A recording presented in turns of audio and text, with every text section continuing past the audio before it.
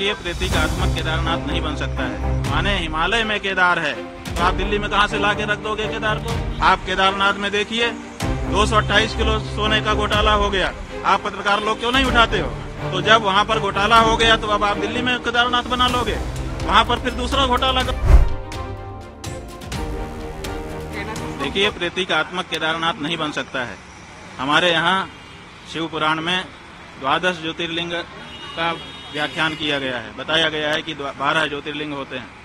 बारह ज्योतिर्लिंगों के जहाँ नाम बताए गए हैं, वहीं पर उनका पता भी बता दिया गया है। और ये कहा गया है, जैसे सौराष्ट्र सोमनाथम। पहले कहा सौराष्ट्र, माने पता। उसके बाद कहा सोमनाथ। उसी तरह से केदारम हिमवत पृष्ठे। जो केदार है, वो हिमालय के पृष्ठभाग में है। माने हिमालय में केदार है। तो आप दिल्ली में कहा से ला के रख दोगे केदार को? जब पता साफ़ साफ़ बताया गया है कि ये यहाँ लोकेटेड है तो आप उसका लोकेशन क्यों बदलना चाहते हैं? क्यों जनता को भ्रम में डालना चाहते हैं? आप भगवान के हज़ार नाम है, किसी नाम से स्थापना करके पूजा करिए, लेकिन केदारनाथ धाम दिल्ली में बनेगा, ये अनधिकार चेष्टा है और ये नहीं होना चाहिए। भाई, बहुत सारी राजनीतिक वजह हैं। हमारे सभी जो हमारे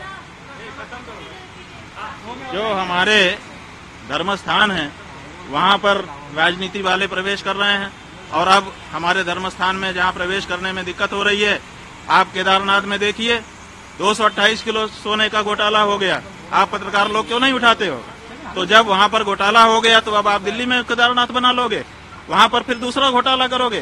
228 किलो सोना केदारनाथ से गायब कर दिया गया। ये कहाँ का नियम है? क्यों नहीं उठाते हो प्रेस वाले इस बात को? आज तक कोई जाँच तक नहीं बैठाई गई। 228 किलो सोना का घोटाला केदारनाथ में हो गया। कौन जिम्मेदार है? क्यों इस बारे में जाँच नहीं होती है? क्यों भाई इस बारे में निर्णय नहीं होता है? और अब आप कहेंगे हम दिल्ली में ही केदारनाथ बना लेंगे? ये नहीं हो सकता। वो हमारे पास आए थे, उन्होंने प्रणाम किया, हमारा नियम है। हम लोग आशीर्वाद देंगे, जो आएगा उसको आशीर्वाद देते हैं। नरेंद्र मोदी जी हमारे दुश्मन थोड़े हैं। हम उनके हितैषी हैं। सदा उनके हित की बात कह रहते हैं। जब उनसे कोई गलती हो जाती है तो हम उसको उसको भी कहते हैं कि तुमसे ये गलती हो रही है। वो हमारे दुश्मन नहीं है।